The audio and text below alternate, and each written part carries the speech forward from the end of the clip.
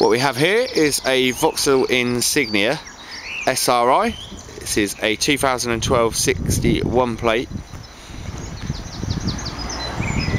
It's 140 horsepower, 210 pounds a year to tax, and capable of around 40 to the gallon.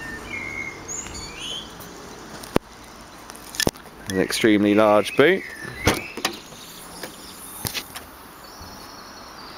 As you can see.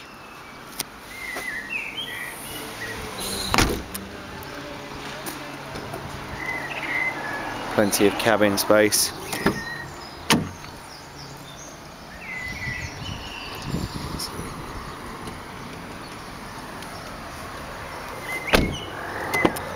for passengers too.